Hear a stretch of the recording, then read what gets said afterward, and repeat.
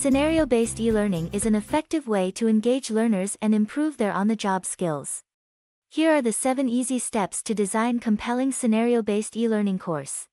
Understand the people the course aims to train by connecting with a supervisor or someone from the target audience. Research their job description, skills needed, and commonly faced problems.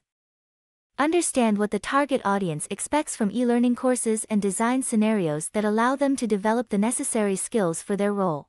Determine clear learning objectives and outcomes, keeping in mind that scenario-based e-learning is effective for all kinds of learning. Design critical on-the-job scenarios that challenge learners and present themselves on special occasions. Use knowledge of the employee's roles to present engaging stories and relatable situations. Different scenario structures supplement different learning processes. Choose the right one to teach the necessary skills effectively.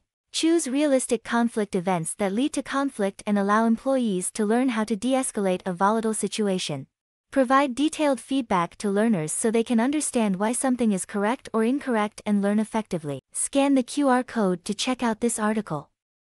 Don't miss any of our rapid e-learning tips and tricks. Subscribe to our channel today.